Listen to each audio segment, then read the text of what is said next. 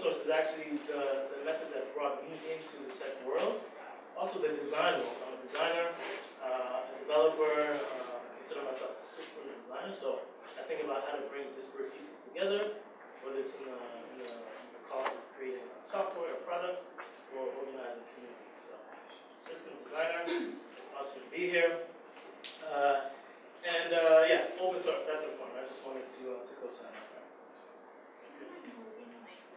This way.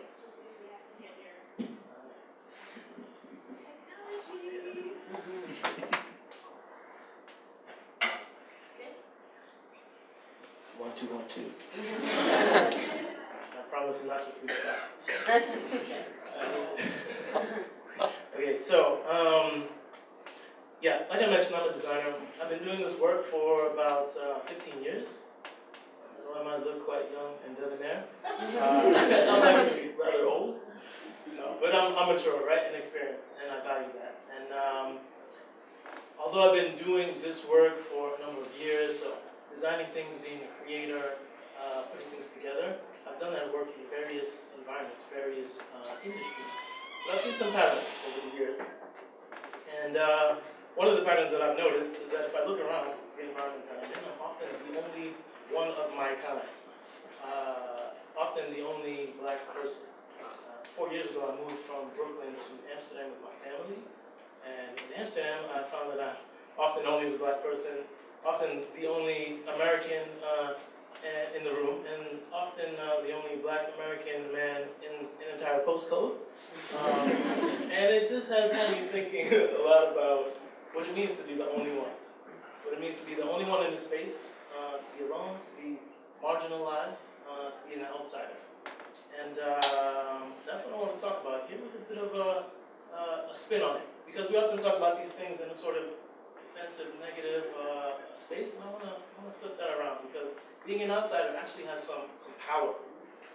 Um, last time I was on in front of an AlterConf group uh, with that privilege, I was talking about how to design uh, your environment to suit your personal needs. So if you want to bring your whole self to work, here are some design techniques to, to manage that because uh, most likely if you're an outsider, if you're marginalized, that space doesn't suit you. And in fact, it's probably designed for your failure. So I talked a bit about that. Check that, that um, video out if you're interested. But since then, that was last summer. It was a nice hot day. It was a bit sweaty there. Uh, since that talk, I've really been digging into this phenomenon, like people being able to be an outsider and go into a space where they are marginalized but still perform, still come to work, do your job, uh, and do it well. And I see this happening all over the place. I'm sure everyone in this room is an example of that. And as the industry has a bit more of a conversation about diversity and inclusion, I'm hearing stories about people who are alone, who are loners, who are outsiders, and are still successful. I'm like, this is amazing. This is amazing. The ability to be an outsider, to be oppressed in some way, but still carry out your work and still do it excellently. So I've been digging into that idea, and and it started with a, a question: How can I be? How do people do this? I an answer. I think the answer is empathy, which is weird a little bit because we often talk about empathy in terms of um, uh, you understanding someone else for their benefit. And now I'm saying that empathy is what? Let me. I'll, I'll leave the conclusion for a little bit later and stay organized. I was tempted to freestyle. I won't do that. I won't do that. So I want to stay on track. But the thing is, empathy, right? Really interesting. Uh, it didn't just come to me that oh, empathy and oh, it's amazing that people are doing this, but I've been inspired by someone who, for the past five years, has been consistently inspiring me, almost every day actually. And it's my kid. Uh, there he is in the corner. This is my kid. so cute. It's. Weird. I was when I was making this, I was like, okay, these kids are all cute. Even my kid. But when I do this, he's even cuter. something magical. Something magical. This kid is really magical for me. If you've been around young people, of course they don't have these filters that we, impose on ourselves. They really force you to be honest. And I'm trying to be a parent that gives the tools of introspection and analysis and, and honesty for my kid. I want to be that example. And uh, so I'm always just paying attention to him. Now, he's five. Uh, we've been in the Netherlands since he was one. So he is fluent in Dutch. His, his teacher recently told me that when, he, when she hears him speak, she cannot tell that he has uh, an accent at all. Blew my mind. The other day we were uh, sitting at the dinner table, and uh, we were just talking about, we had some friends over, we were talking about identity, where we're from. He told me, oh, I'm Dutch. I couldn't tell him no. he could completely uh, out argue me in Dutch, you know? I don't speak Dutch. I speak a few words of Dutch. Enough to know that I'm, I'm no good at it. Although I did try to learn. Anyway, let me stay on track. Stop. So, this kid, uh, I see him switching languages like effortlessly, right? He, he has his friends over and he's speaking Dutch and then they're doing something bad. I say, don't do that. And he switches to English. And I'm like, this is amazing. But this switching thing, I also recognize from my own experience as a child, maybe as an adult as well. I don't, I've never known Dutch, I don't, I don't know Dutch. And uh, I've mostly spoken only English for my entire life, but I have been switching in in my life as a child and, and as a grown person.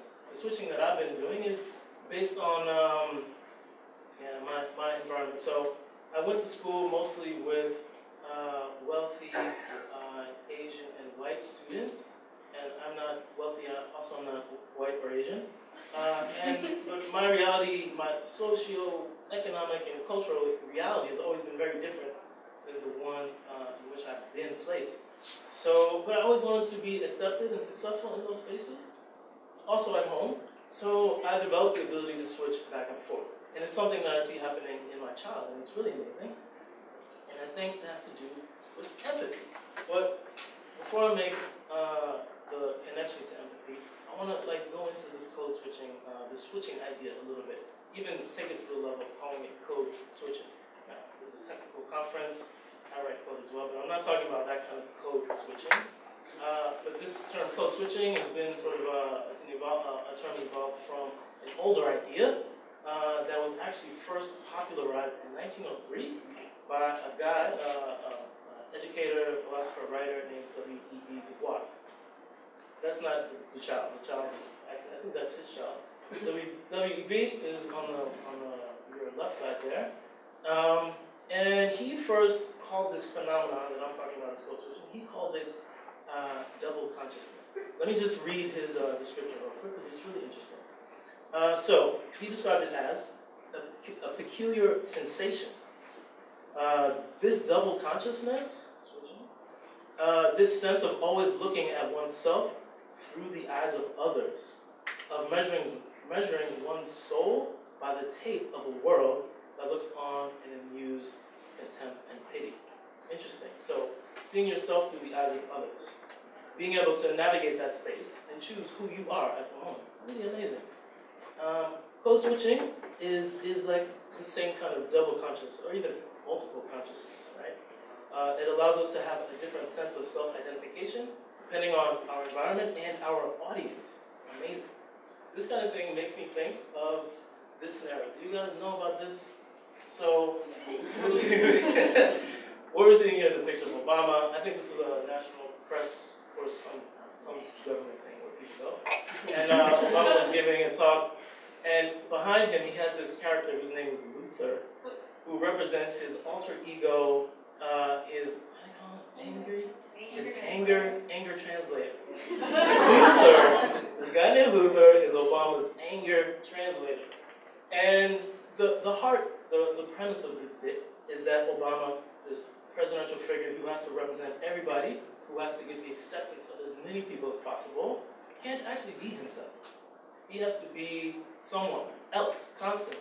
But on this occasion, in this comedy bit, he, he had a representation of the, his self that isn't always allowed to be present. And Luther's angry, and he's honest, and he recognizes the, the imbalance of power and uh, justice in the world, and he speaks it. Um, so for Obama, this ability to code switch to, to have double consciousness, it has an advantage. It got him into the presidency of the United States. Uh, but the, the code switching ability is not always uh, positive, or let's say it has some negative consequences.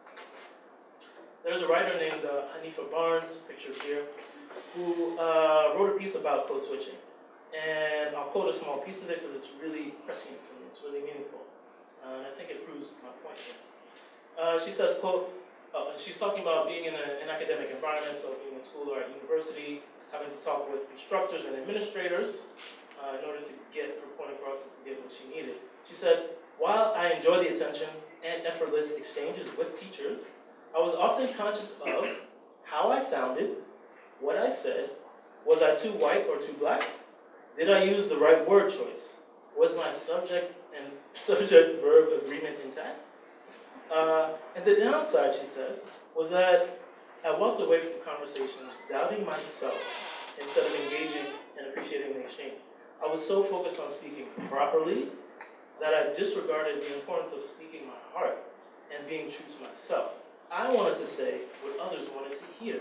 So you can code switch knowing that there's something others want to hear or a way others want to hear you. Look at all the work it takes. Am I saying the right thing? Uh, do they understand me properly? Do I all this cognitive effort? It's a waste. It's it's a waste. And it's a distraction. You know who else said this? Toni Morrison. She said racism is distraction. And I'm going to read a piece of, uh, of this quote from her she she puts this code switching and this uh, seeing yourself in the guise of other, through the gaze of others. She puts it into the context of racism. She says the very serious function of racism is distraction. It keeps you from doing your work. It keeps you explaining over and over again your reason for being. Somebody says you have no language.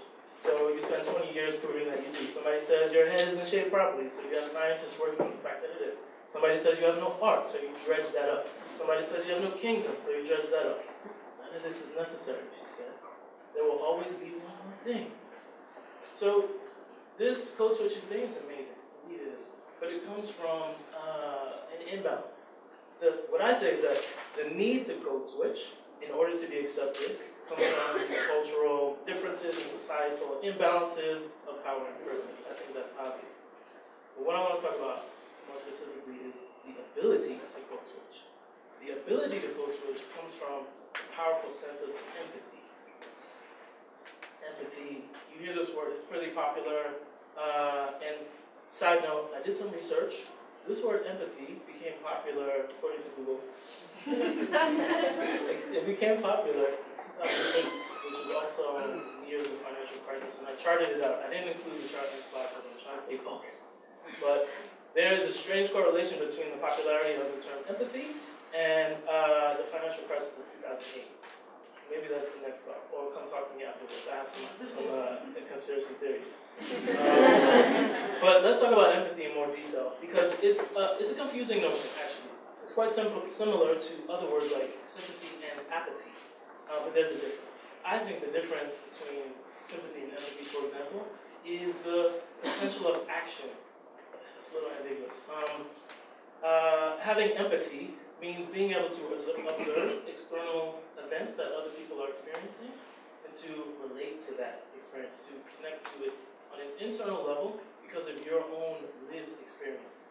Sympathy is different. Sympathy is simply recognizing the experience someone else is going through, understanding the terms that might be used to describe it. Still a little ambiguous, but I, I found an illustration that really makes it clear.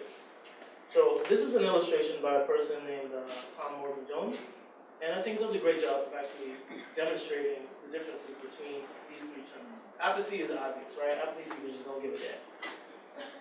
Empathy and sympathy are much more closely related, but what you can see in this illustration is that someone who's sympathetic, who has sympathy, they understand what's going on, they can point to it, but they can't really do anything about it. People who offer you sympathy are listening to you, indeed, but can they offer you solace or advice or uh, anything constructive? Not typically. Those who can, they're practicing empathy.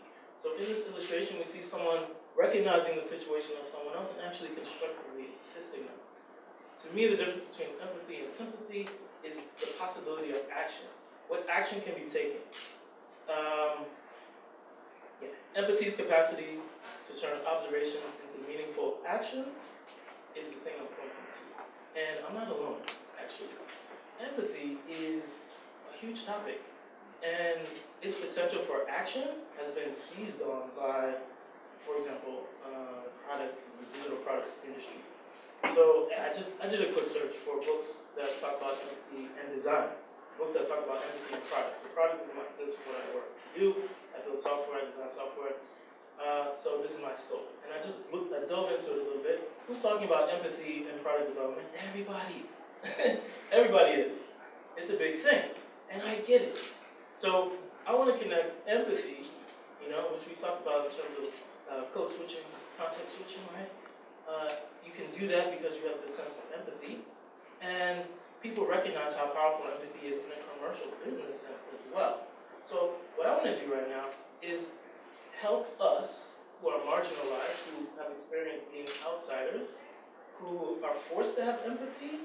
Let's leverage that. Let's let's recognize how powerful that makes us in this particular case in terms of building digital products and being in tech. Let's point to our advantage of empathy as something powerful. Now, it's not only me that recognizes, only me and these authors of these books that recognize the power But uh, within design and development, I found a number of people who I really admire that also recognize the power of empathy. I'll just take you through a few of them real quick. Uh, Julie Zhuo, who is a, a design uh, leader at Facebook, uh, she famously wrote a couple years ago, three years ago, uh, she said, the best designers and product thinkers know people, right? They understand what motivates and what delights and what intrigues. Uh, they have strong theories about why, and they know this because they've been watching and studying people, including themselves, for a long time. That's empathy, right? Studying people, studying yourself. Uh, Jonathan Pimento, who is a product manager and designer at uh, Adobe, is working on the XD product right now. He agrees. He uh, he was recently in a, a user defenders podcast. So if you're into UX design, by the way, it's a great one. Um, he said in an interview, uh, having empathy for the customer is like one of the things that's critical for success. He also said being able to relate to the problem critical for success. Being able to summarize, empathize, and then vocalize with the customer uh, person is experiencing critical for success. Uh, also, Sara Soueidan who is an award-winning uh, web developer. She works for, for organizations and individuals all around the world. She uh, recently tweeted, she said, being a good developer uh, doesn't mean only having the technical skills for it, but empathy is one of the essential skills one must have. So I trust these people.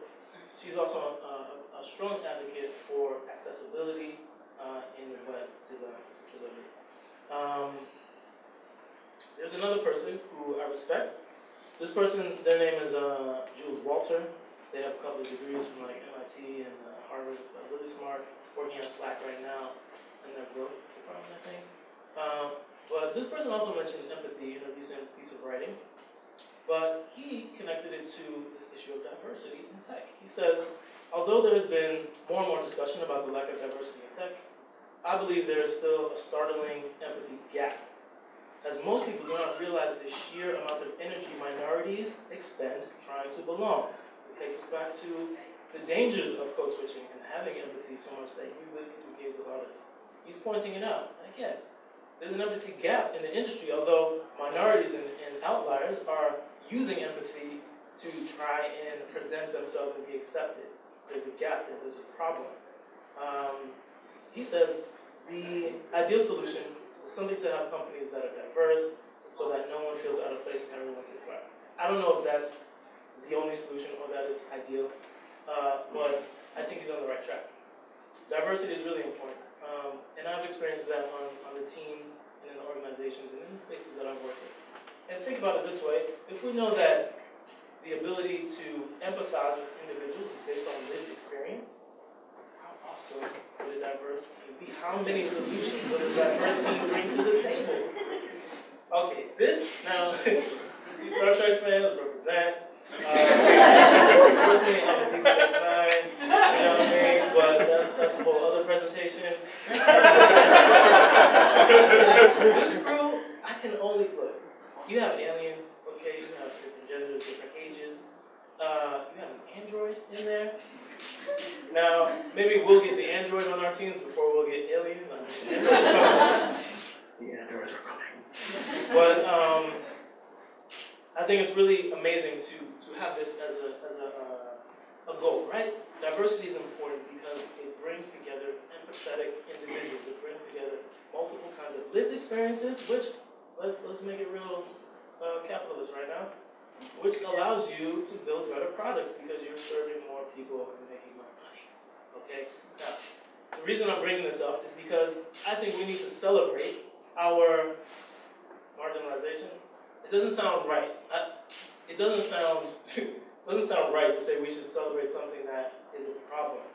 But what I'm trying to say is that out of those problems come uh, attributes that others don't have. So attributes that give us advantages that I don't see us big enough. I don't see us promoting the fact that we have these abilities that you can't get by a book, through a book. You can't hire a company. You can hire a company to come teach your team empathy, but it's not going to work. They're going to teach you sympathy. Empathy has to be earned, it can't be learned. Trademark copyright. so, yeah, I really believe empathy is a superpower. Oh empathy is a superpower. I didn't hear what you said, sorry. Oh, the, okay. I'll send you my lawyer's email. so yeah, empathy is a superpower, right? And and people who are marginalized and on the outskirts of uh, majority influence uh, have empathy in copious amounts. We need to celebrate that. We need to leverage it. Um, and I found someone who expresses this idea way more eloquently than I ever could. Um, I found this uh, TED Talks from woman, her name is Jamila Lyiscott, I think is how you pronounce her name. So look her up. Uh, well, yeah on TED Talks, she, she does a spoken word essay where she's talking about how uh, she basically speaks three kinds of English. She has um, heritage from the Caribbean, so she speaks Patois. She's you know from around the way, so she speaks Hood Street, and uh, and she's educated, so she speaks English.